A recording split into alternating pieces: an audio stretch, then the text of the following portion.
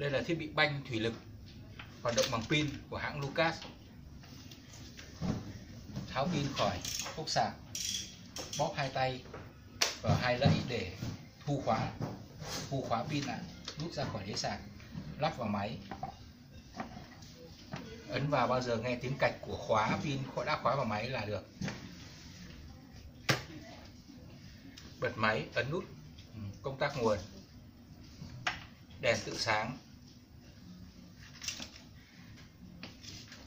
dùng ngón tay điều khiển, gạt theo chiều của đồng hồ là banh.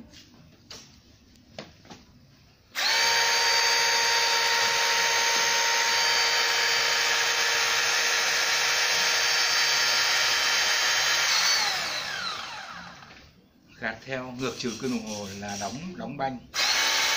Bóp.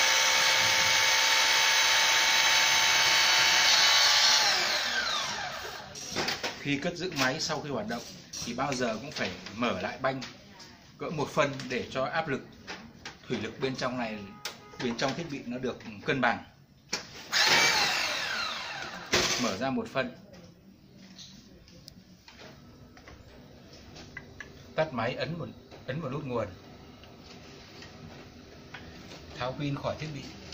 Bóp hai bên để nhả khóa pin.